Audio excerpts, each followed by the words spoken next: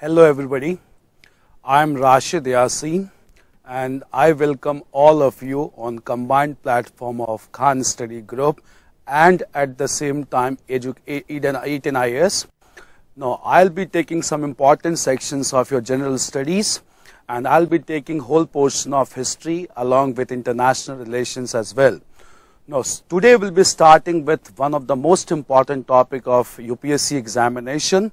This topic is Indian national movement that also proved to be the world's longest movement and that also led to the establishment of the world's largest functional democracy till con- in contemporary times.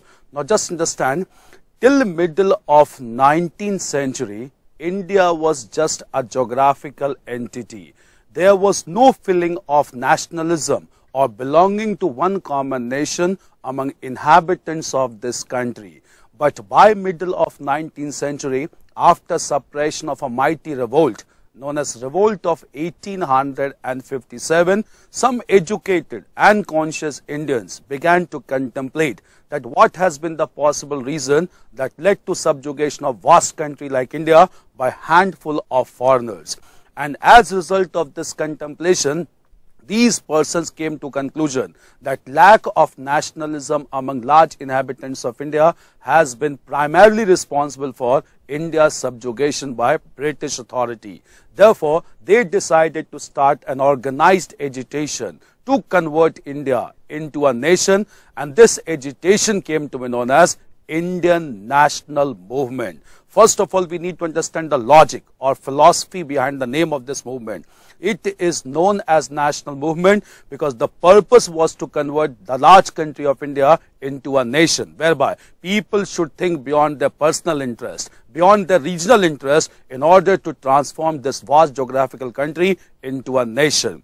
And when this movement was started in second half of 19th century, by end of 19th century, a national body was established to start this agitation in an organized manner. This national body is known as Indian National Congress, which was established by end of 1885. And with formation of this national body, India's struggle started in a small but organized fashion. And in beginning of 20th century, British authorities decided to weaken rising nationalism in India and with this intention, they decided to partition the most active province of India. This province was eastern province of Bengal, which even included the provinces of Bihar and Orissa as well.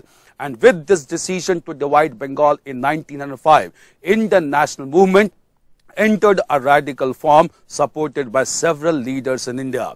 The partition of Bengal took effect on 16th of October 1905 and as a result of this partition several leaders of India joined hands at this time and they decided to launch first mass movement against partition of Bengal which is known as Swadeshi movement here today we'll talk about Swadeshi movement, what were the major achievements of Swadeshi movement, major characteristics of this movement and why this movement came to an end just after few years in the first decade of 20th century. So today we'll start with this first mass movement. This movement known as Swadeshi movement was started Swadeshi movement was started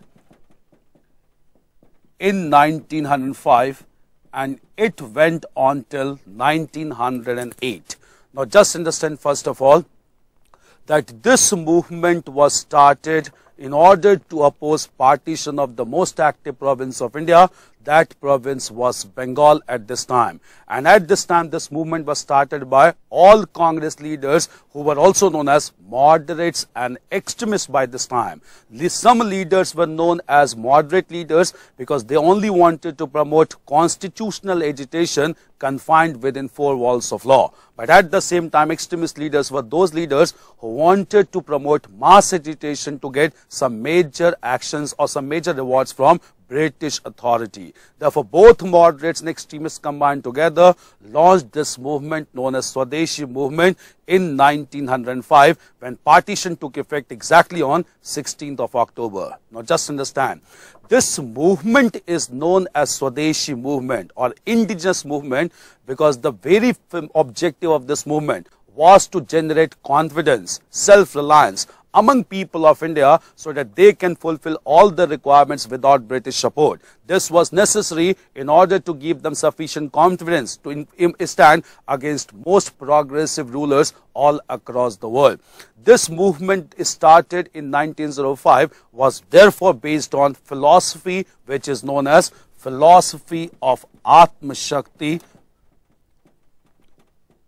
Atma Shakti or also known as self-reliance. The objective was that if every person develops their own confidence, then no authority would be able to suppress them. And guided by this philosophy of self-reliance, the greatest feature of this movement was witnessed in growth and development of cultural uh, cultural traits in province of Bengal. Several cultural personalities emerged in province of Bengal. They began to promote indigenous culture of Bengal to arouse the confidence and esteem, self-esteem of people in Bengal. During with beginning of this movement, the great literary figure of Bengal, named as Rabindranath Tagore. He advised the people of Bengal to celebrate the festival of Raksha Bandhan in an unique fashion.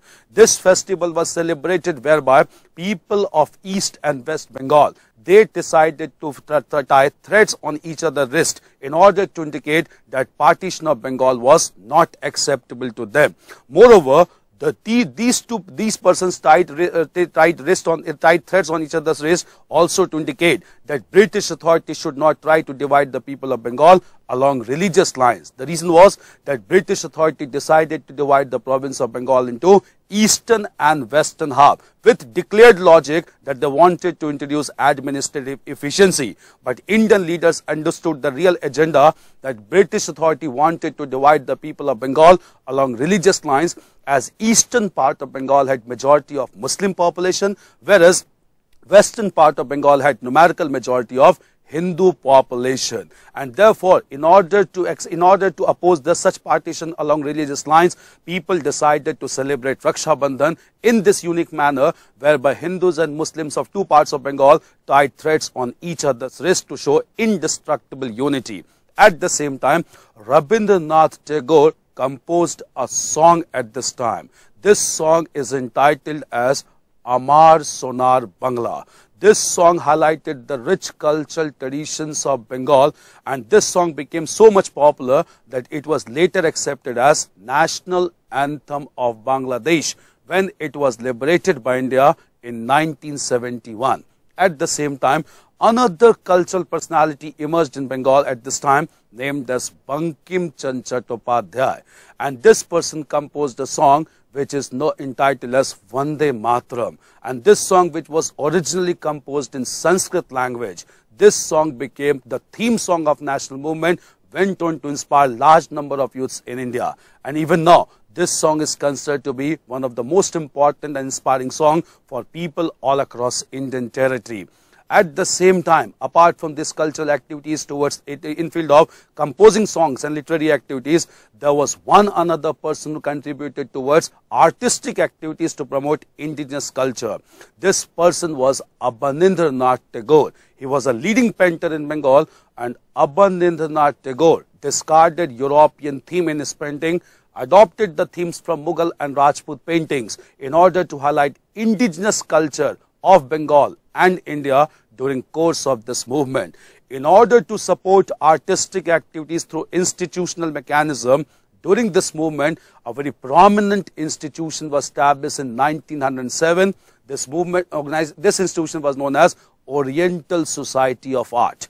And this institution began to provide scholarships and fellowships to leading artistic personalities. The first recipient of this scholarship was Nandlal Bose. He was a great literary figure and he was given a huge amount of support by this institution. Not only in indigenous to promote indigenous culture, at the same time, same time several persons came to forefront to promote indigenous industries in Bengal as well. And one such person was Achar Prafull Chandray. This person established Bengal Chemical Factory and this factory started to produce chemical products to reduce dependency of Bengal on imported chemical products from European world. all these initiatives taken at this time gave huge amount of confidence to people of Bengal and these, pe these people began to oppose any policy of British to divide them along religious lines in the province of Bengal. But when this movement reached its climax, reached its zenith, this movement got adversely affected by two major developments in India that again indicate that feeling of nationalism has not percolated to the to every section of Indian society. These factors were number one. When this Swadeshi movement was started, British authority began to play their communal card in province of Bengal. They began to convince Muslim masses of East Bengal that this partition has been done primarily to safeguard their interest in Bengal because they gave logic that in United Bengal, Muslims were in minority. In divided Bengal, Muslims are in majority in eastern part of Bengal. And that is why on this basis, they began to support partition of Bengal. Some Muslim leaders got convinced of uh, convinced and at the same time it led to establishment of a communal organization in Bengal which is known as all India Muslim League. All India Muslim League was started, established in 1906 and the leaders of this communal body began to ask Muslim masses to keep themselves aloof from Swadeshi movement. Just because of the such declaration, the declaration demand, suspicion and distrust began to get generated among members of both religious communities. And it is no surprise that at height of Swadeshi movement, communal riots broke out throughout the province of Bengal. That adversely affected Swadeshi movement and this movement started to wane away because of communal divide in province of Bengal. But there was another major factor that affected the sustenance of this movement for long period of time. This factor was differences in approach and strategy followed by moderates and extremists we had discussed right now only, moderates were those leaders who only wanted to follow constitutional methods of agitation like petitions and applications to be presented before British. But extremists were radical leaders wanted to launch mass movement in India and through mass movement they wanted to gain some major rewards and rewards. Therefore, when this Swadeshi movement was started, moderates wanted to confine this movement within province of Bengal. But at the same time, extremists wanted to extend this movement beyond province of Bengal to rest of Indian territory. Even the greatest representative of extremist school, Bal Gangadhar Tilak, had started this movement in different parts of Indian territory with regard to extent, with regard to pace or with regard to acceleration, differences began to take place between moderate leaders on the one hand extremist leaders on the other hand. And therefore, these differences reached a high point in 1996 when Swadeshi movement was progressing. And by the end of 1996, both moderates and extremists wanted to elect their own candidate as Congress president to get their strategy accepted. But in order to avoid any major split within Congress rank, moderates and extremists decided to choose a person who was equally respected by all leaders. This person was Dada Bhai. He presided over annual session of Congress convened at Calcutta in 1906. And during this session, Dada Naoroji not only avoided any split within Congress party, he also took a very important step to promote national movement in India. For the first time from Congress platform, Dada Naoroji demanded Swaraj from British authority. Now we need to understand what was this concept of Swaraj, which was demanded by Dada Naoroji, formally from Congress platform in 1906. The word Swaraj meant not independence from British rule. One thing must be understood. The word Swaraj only meant right of self-government or right of autonomy under overall control of British authority. Here we'll discuss two important terms. There are two terms known as autonomy and sovereignty. Autonomy means rights of administering itself within the territory of India and within territory of any country. And sovereignty means the total control over foreign affairs, defense and communication exerted by another authority. Therefore, at this time, Indian leaders never demanded sovereignty, that is total control of Indian territory. Rather, they only demanded that they should be given the right to look after the internal affairs. This came to be known by, known by the term home rule or this also came to be known by the term Swaraj or rights of self government. This was formally demanded by the, the Dadabhai Naoroji at Calcutta session. And this draft of Swaraj was prepared by personal secretary of Dadabhai Naoroji at Calcutta session. This person was a young barrister named as Muhammad Ali Jinnah and he prepared this draft and from here only he began to be considered as great expert of constitutional affairs. This was done during Calcutta session but as soon as Calcutta session came to an end differences again began to take place among moderates and extremists. The reason was again, moderates wanted to confine this movement within Bengal, but extremists wanted to extend this movement outside the province of Bengal. When differences began to take place with regard to pace and extent, again, the whole atmosphere got disturbed. And under disturbed political atmosphere, the next annual session of Congress was convened at Surat in 1907 and this session at Surat was presided by a moderate leader. This moderate leader was Rash Bihari Ghosh. Now just understand one thing, in course of national movement, there were two personalities. One was known as Rash Bihari Ghosh. Another is known as, was known as Rash Bihari Bose. And both are totally opposed to each other. Rash Bihari Ghosh was a moderate leader who believed in constitutional methods. Rash Bihari Bose was a revolutionary who believed in assassinating unpopular British officers in order to create fear in the minds. So revolutionaries were totally different leaders in course of national movement. Raj Bihari Bose was a revolutionary, Raj Bihari Ghosh was a moderate and this person presided over Surat session in 1907. And during this session, Congress leaders announced that extremist leaders cannot remain with this party and extremist leaders walked away from Congress session and that resulted into formal split among Congress party in 1907 which is also known in Indian national movement as Surat split of 1907. And after this Surat split, the Swadeshi movement could not be provided effective leadership, sustained leadership, and this movement, uh, this movement gradually went away in beginning of 1908. So the greatest factor that led to the end of Swadeshi movement was lack of sustained leadership apart from communal divide that got created in, in province of Bengal during this mass movement. But when this movement came to an end in beginning of 1908, British authority adopted a two-pronged strategy during national movement. This two-pronged strategy was, start, was started in order to deal with moderates and extremists in a separate fashion. Moderates never proved to be a real threat for British authority. Therefore, British authority decided to follow the policy of conciliation towards moderates. They decided to appease moderate leaders. And on the other hand, they decided to follow the policy of brutal suppression against extremist leaders. The reason was extremist leaders proved to be the real threat for them because extremist leaders had been challenging them through mass agitation and they knew moderate leaders could be easily conciliated by giving constitutional reforms in India.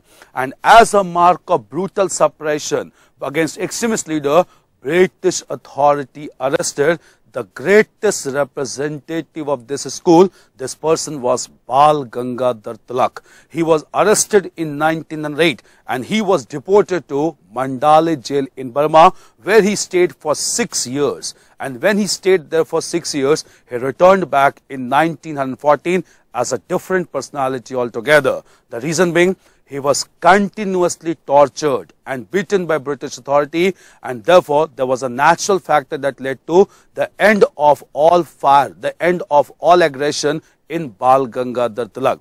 But on the other hand, as mark of conciliation to be followed with moderate leaders, British authority constituted an expert committee and this expert committee comprised of India's Secretary of State in London. This person was named as Lord Morley.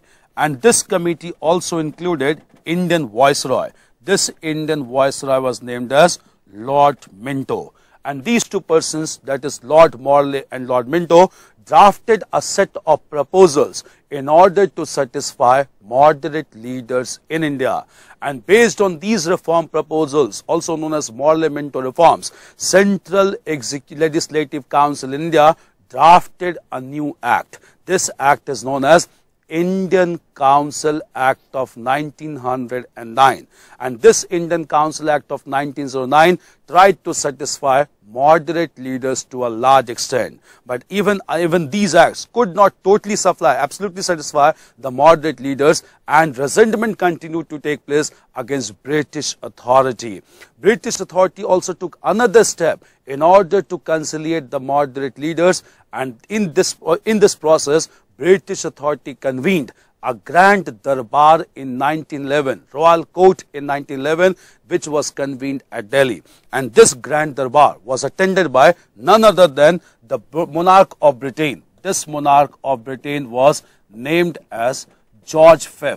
This person attended the Grand Darbar at Delhi and this person made two important announcements on 12th of December 1911. First of all, this British monarch announced that partition of Bengal is annulled. He announced the end of partition of Bengal to satisfy moderate leaders. But at the same time, he decided to separate linguistic region of Bengal from Hindi and Uriya speaking states of Bihar and Orissa at this time. Therefore, with this declaration, Bengali speaking region got separated from Hindi and Uriya speaking region. And Bengal, when it was separated, the importance of Calcutta automatically automatically came to came to an end and therefore it was decided that capital of modern india needs to be transferred from calcutta to some strategic location and therefore in 1911 delhi was declared to be the capital of modern india and since then even now delhi remains to be capital of modern india which was done to conciliate moderate leaders during Grand Darbar in Delhi. At the same time, no major political agitation took place in India since the bifurcation, since the divide of Congress members at Surat in 1907. From the year 1907 till 1914, there were no political agitations in India. In the year 1914, Bal Gangadhar Tilak returned back to India. And at this time when he returned back to India, he decided to activate national movement. And in order to activate national movement, first thing he demanded was extremist leaders should be allowed to enter into Congress party. And fortunately for Tilak, this time this person was supported by an Irish reformer who had been in India since a long time. This Irish reformer was Annie Besant. And Annie Besant decided to support Tilak as she began to take deep interest in course of political agitation in India. Now here, we'll understand something about this lady that is Annie Besant as well. Annie Besant was an Irish lady. He had, she had come to India by end of 19th century in order to promote religious and social reform. And as a mark of social reform, Annie Besant major contribution was she established a very prominent educational institution at Banaras in 1898 known as Central Hindu School. And this school only became the nucleus for establishment of world-class university in 1916 at Banaras known as Banaras Hindu University. This led to huge popularity of Annie Besant and with support of Annie Besant, Tilak began to demand reintegration of moderates and extremists. But finally, this integration took place in 1916 when annual session of Congress was convened at Lucknow. This is considered to be a historic session in course of Indian national movement as major decisions were taken during Lucknow session in 1916. Just understand first of all, Lucknow session was presided by a great leader of national movement, Ambika Charan Majumdar. And during this session, both Tilak and Annie Besant first of all requested the integration of two wings of Congress and this demand was finally accepted and extremists got reunited with Congress party during Lucknow session. But at the same time, much more important than this, another decision took place. At this time, Bal Gangadhar Tilak and another leader Muhammad Ali Jinnah demanded integration or merger of All India Muslim League with Congress party. This demand was also accepted and All India Muslim League got merged with Congress party in 1916. By just by this system only, Tilak began, Muhammad Ali Jinnah began to be regarded as a great secular leader. In fact, he was given the title of Ambassador of Hindu-Muslim Unity by Sarojini Naidu, another great prominent leader. And during this session, a pact was signed among Congress members and leaders of Muslim League, which is also known as Lucknow Pact. And this Lucknow Pact led to merger of All India Muslim League with Indian National Congress. At the same time, the, a very controversial decision was taken by Congress members.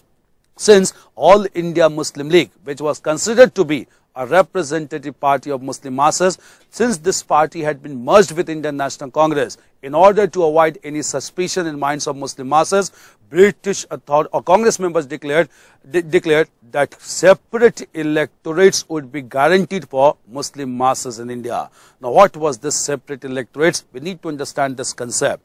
Separate electorates was a provision which was introduced by British Authority for Muslims in Indian Council Act of 1909. According to principle of separate electorates, certain electoral constituencies were to be demarcated and from those constituencies only Muslim candidates could contest election. Not only this, from those demarcated constituencies, only Muslim masses were allowed to cast their vote. So even the right of franchise was restricted to Muslim masses. All mechanism was divide, decided in order to elect Muslim candidates from those demarcated constituencies. But the real agenda of British authority was to give a message to masses in India that political interests of Muslim masses are totally distinct and therefore that can be decided only by Muslim masses in India. It was a well calculated strategy to divide Indian people again on religious lines in order to weaken rising nationalism.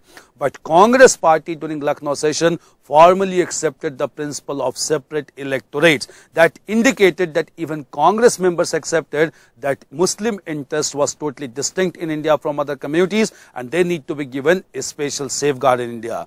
This controversial decision was taken at Lucknow session and it is also regarded by scholars, it became one of the most important factor for partition of India by big middle of 20th century. But at the same time, during Lucknow session, Bal Gangadhar Tilak gave two other proposals to bring about restructuring of Congress party. Bal Gangadhar Tilak personally proposed that since Congress party has become a large party, within this party, a compact body should be formed to sustain mass agitation in India. This compact body was termed by Bal Gangadhar Tilak as Congress Working Committee.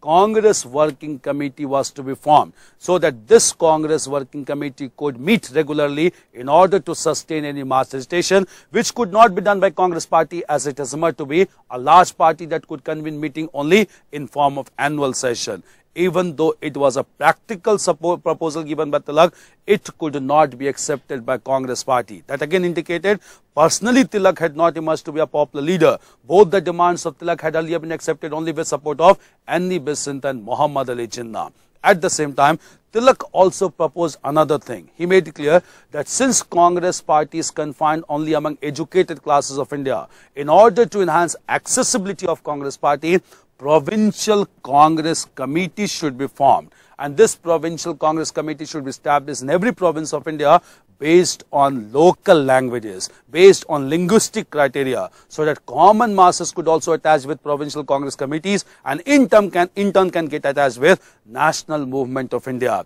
It was also a practical proposal given by Tilak, but it could also not be accepted during Lucknow session. We'll see later on. Exactly after four years, both these proposals were given by Mahatma Gandhi in 1920 and when this these were given by Mahatma Gandhi they were accepted unanimously by Congress members.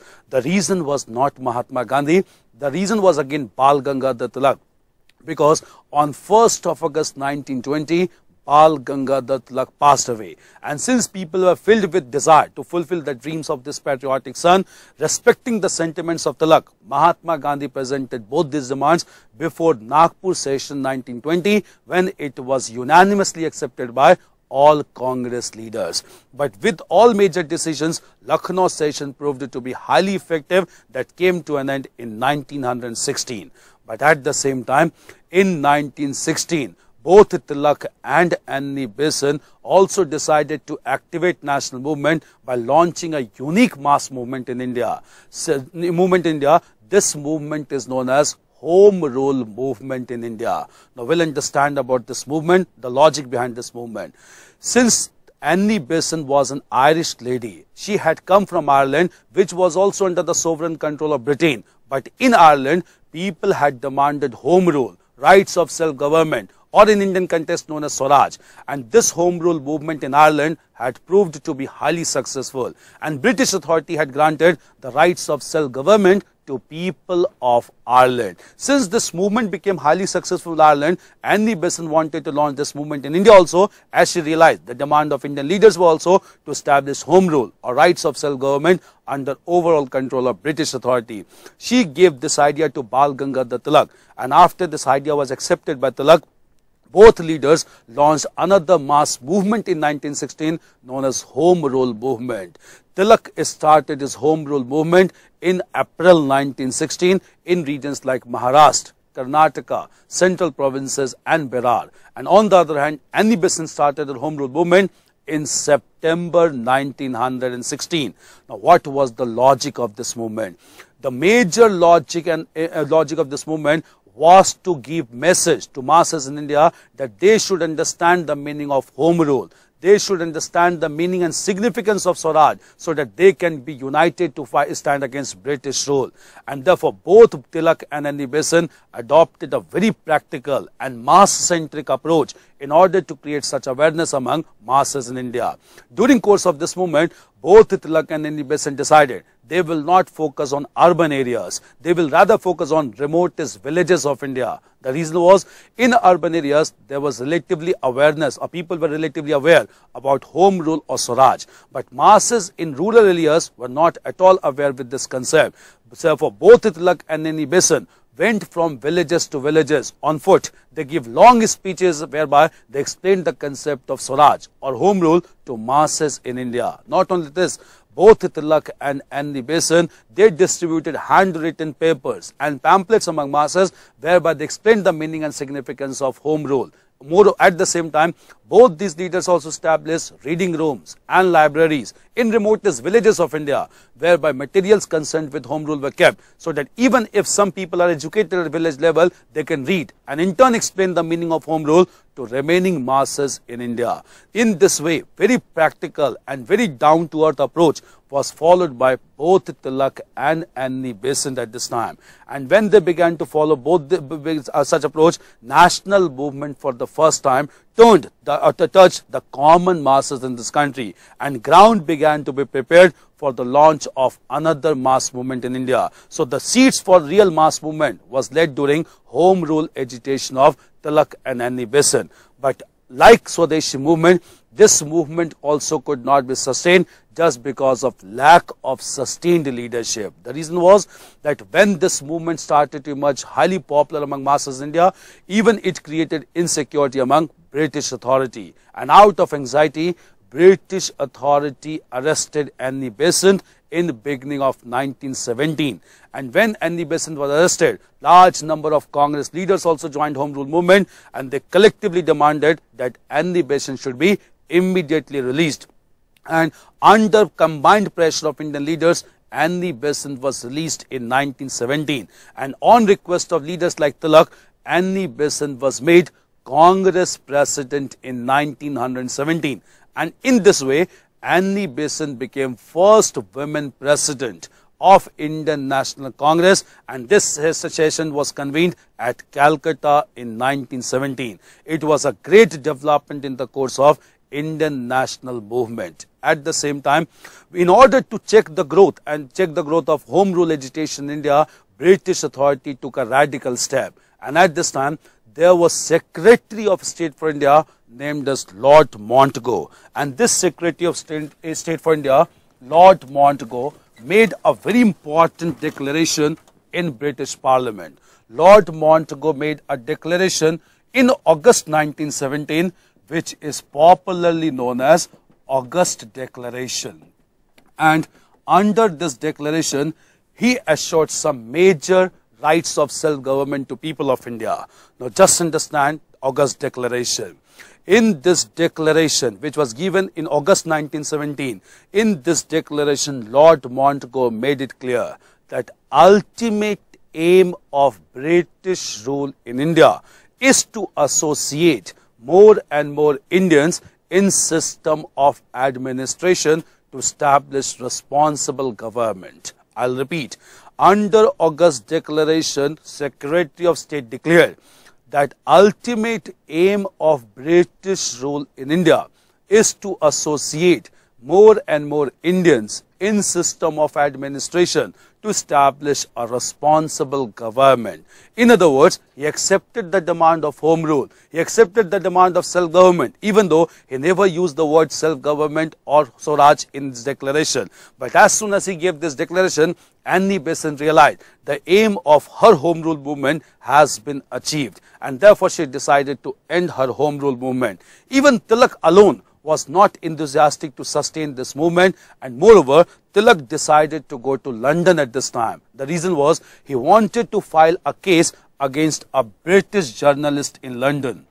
This journalist in London was named as Valentine Chirol and this person Valentine Chirol has declared Tilak to be father of Indian unrest. Father of Indian unrest means a person responsible for all major problems in India. Therefore, Tilak decided to file a defamation case against Valentine Chirol. And with this intention, he went to London. Since he was away from, from India for several critical months, this movement, that is home rule movement, gradually waned away in the beginning of 1918. Therefore, this movement that was also a mass movement continued from 1916 to 1918. And when this movement came to an end, at this point of time, large-scale consciousness had been created among people, which was the greatest achievement of home rule agitation. Therefore, we have seen till this time that both or almost all mass movements came to an end because of one primary factor. That factor was lack of sustained leadership. But at the same time, by this time, a person came back to India who started a long sustained agitation against British rule and he was able to give organized and sustained leadership to mass movement that ultimately resulted into India's independence. This person was Mahatma Gandhi, a great soul. This person came to India on 9th of January 1915 when he was already 46 years old. And by this time, he had developed huge reservoir of experience far away from his motherland, that is in South Africa. And with huge reservoir of experience, he returned back to India in on 9th of January 1915 and uh, he decided to launch mass movement in India. But on advice of his political mentor, Gopal Krishna Gokhale. First of all, he moved across Indian territory. He understood Indian scenario. And finally, in the year 1920, he gave a call for nationwide agitation in India. And this nationwide agitation marked the beginning of first mass movement under leadership of Mahatma Gandhi. This movement is popularly known as non-cooperation movement. This movement continued again for two years only, but this movement was marked by certain distinctive features. But before we discuss such kind of movements under leadership of Mahatma Gandhi, we need to understand the philosophy, the strategy, the form of struggle and the techniques of this great leader who is regarded as greatest personality of 20th century, not only in India, one of the, but one of the greatest leader all across the world as well.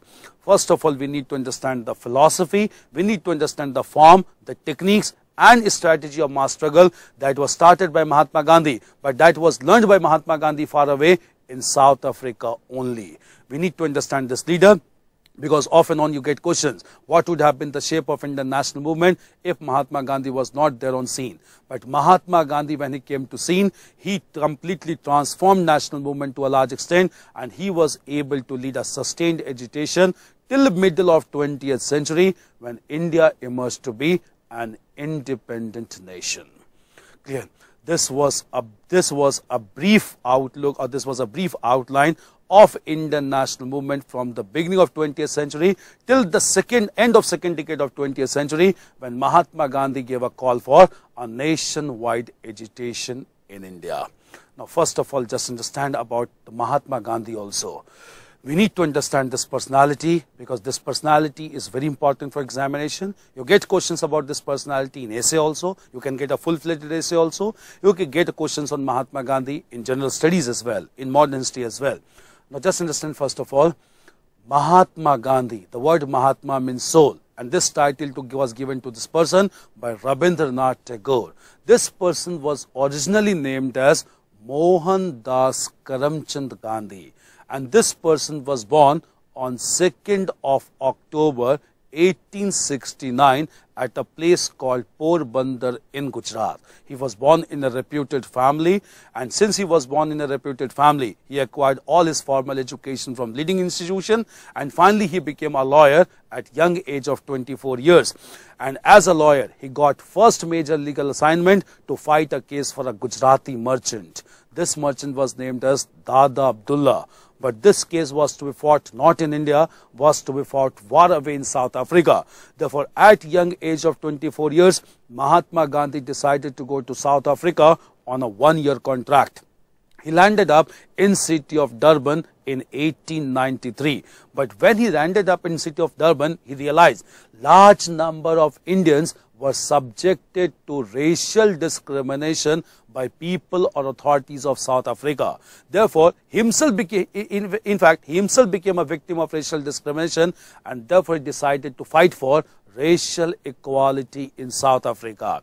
And as a mark of, as, as his struggle started, he developed his own form of struggle, he developed his own technique of struggle, he developed his own strategy of mass struggle. But first of all, the major requirement of a person to become mass leader is the person must be a great fundraiser. This is a practical aspect. Mahatma Gandhi proved himself to be a great fundraiser as well. He demanded funds from his close associates and friends in order to launch mass movement in South Africa. And several persons came to assist, this, assist Mahatma Gandhi and with such assistance, Mahatma Gandhi established an, a spiritual center in South Africa this spiritual center established in South Africa came to be known as Tolstoy Farm. It was named as Tolstoy Farm because Mahatma Gandhi himself was very much influenced by Russian writer Leo Tolstoy. And based on his name, he named this center as Tolstoy Farm. And when he started the struggle against racial discrimination, Mahatma Gandhi developed his own form of struggle. And this form of struggle is known as non-cooperation. Now the logic is Mahatma Gandhi asked his members not to cooperate with exploitative institution and system in order to halt the system, in order to make the system dysfunctional to get demands accepted. Since masses were asked not to cooperate with exploitative system and institution, this form of struggle came to be known as non-cooperation. This was started by Mahatma Gandhi in South Africa.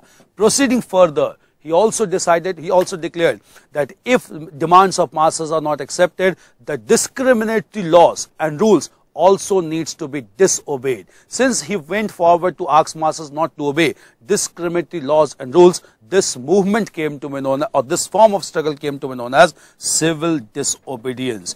And as per this agitation, or as per this form of struggle, he asked masses not to obey the rules and regulations of exploitative authority.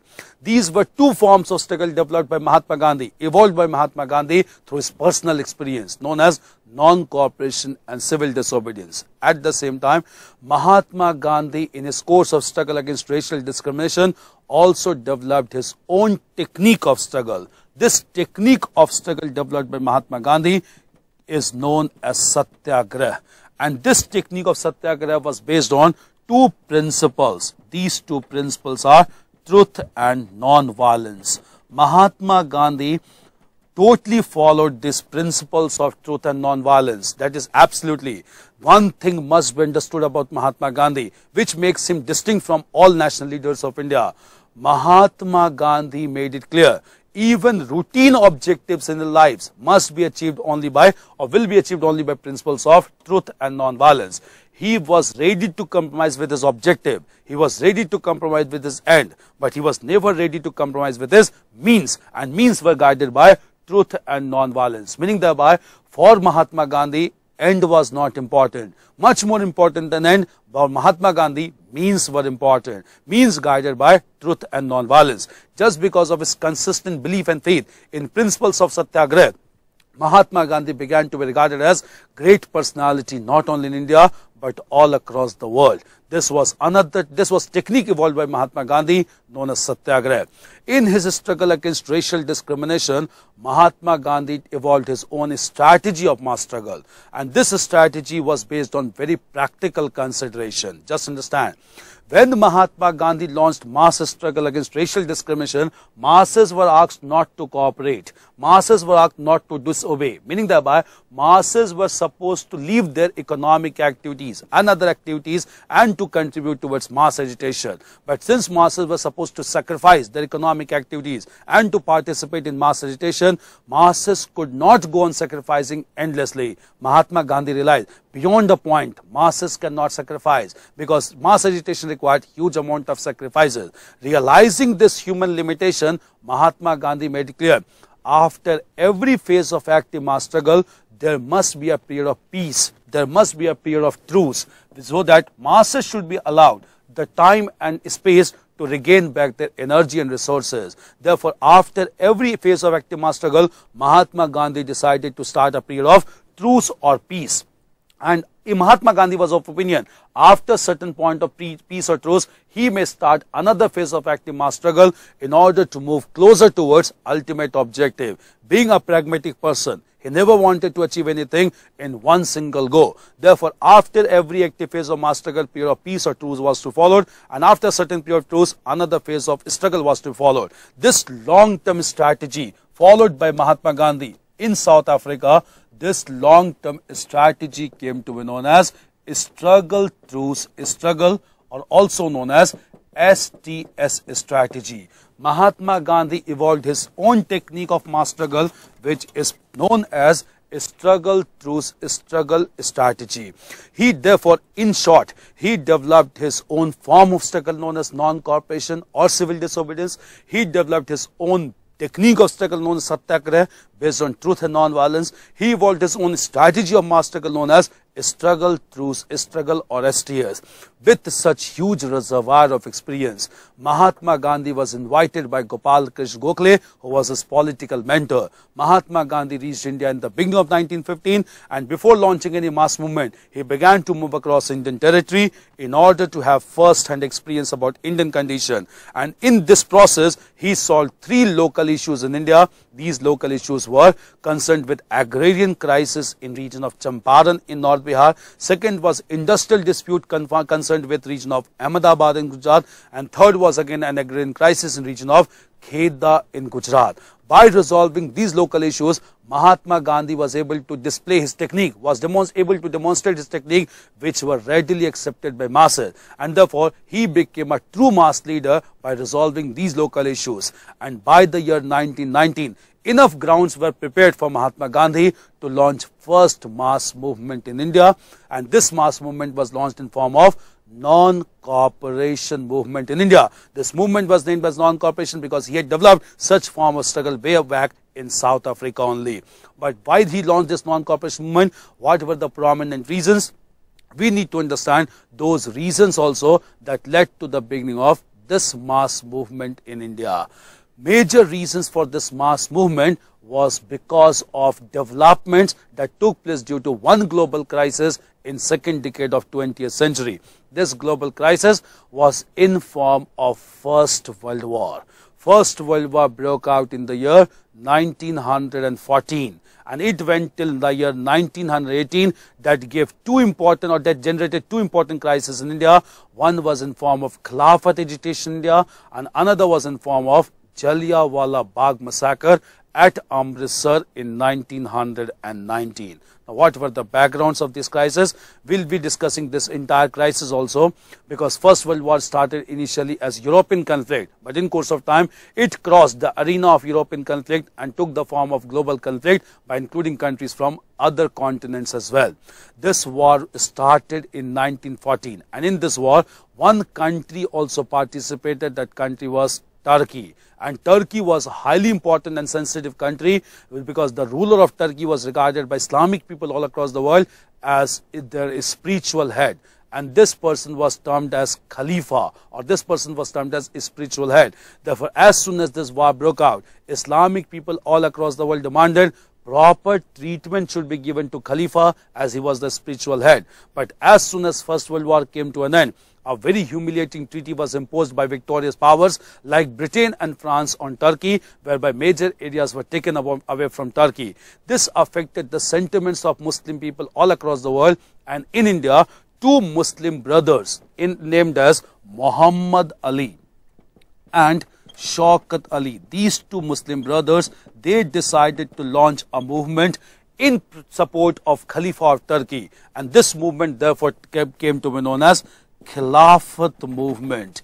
This movement was started in the year 1920 by Muhammad Ali Shaukat Ali in support of Khalifa against British authority. And in the year 1919, another development took place in India. The development was that as per provisions of a reactionary act drafted by British authority known as Rowlatt Act, British authority arrested two prominent leaders of Punjab. These leaders were Saif Uddin Kitchlew and Dr. Satyapal. And when these two popular leaders were arrested by British authority, large number of people protested against this arrest. And therefore, in order to show their protest, large number of unarmed crowd gathered at a place called Jallianwala Bagh. This place is located located Jallianwala Bagh. This place is located at Amritsar in Punjab. And when large number of people gathered at Jallianwala Bagh at this time, British military officer named as General Dyer, he entered into premises of Jallianwala Bagh and ordered his troops to fire on unarmed crowd. And in this firing, large number of people died. That is more than 1500 people died including large number of women and children. Not only this, after this massacre, martial law was imposed in Punjab. That affected civil liberty of the people and people were filled with anger all across India. So by the year 1919, because of Khilafat issue and also because of Jallianwala Bagh massacre, massacre, huge resentment prevailed among the people of India and they wanted to launch a mass movement against British authority. And the person who responded to this call of Mahatma, or this call of masses was Mahatma Gandhi. And by this time, since he had emerged to be a mass leader, Mahatma Gandhi decided to launch mass movement and this movement was launched in 1920 in form of non-cooperation movement. And this movement was launched with three major objectives by Mahatma Gandhi. First, it was launched to, for redressal of Khilafat wrong. Second, it was launched for redressal of Jallianwala Bagh massacre. And third was, third, third, was, third objective was to establish Swaraj in India. One thing must be understood. The word Swaraj, according to Mahatma Gandhi, also meant right of self-government for masses in India, not complete independence. In fact, Mahatma Gandhi at this time never supported complete independence. He only wanted the same kind of autonomy as was demanded by Dadabhai Naoroji during Calcutta session of 1906. Therefore, with, with these three objectives, he launched his first mass movement known as non-cooperation movement in India. And this movement that continued for two years achieved huge amount of success among masses in India. This was arrival of Mahatma Gandhi as a true mass leader and under his guidance, Indian national movement started to take a sustained form and just because of this organized and sustained agitation, India became an independent nation by middle of 20th century. Clear. We'll continue with the role of Mahatma Gandhi in, in the entire course of national movement in our next lecture. Clear. Thank you.